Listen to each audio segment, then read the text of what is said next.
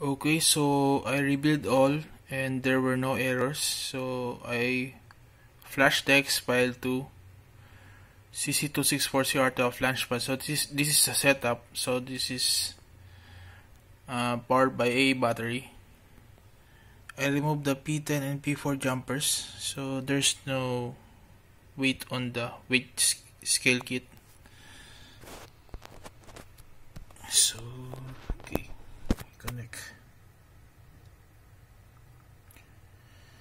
And then we go to weight data. So we change the format to float. And enable notification. So there's no weight, so the weight is 0 0.00. So I put the 1 liter of water. So 1 liter of water is 1 equivalent to 1 kilogram.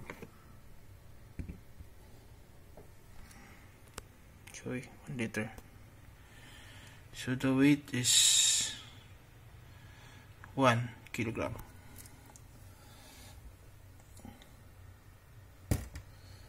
So I put a power bank. Okay, so the weight is 0.24 kilogram.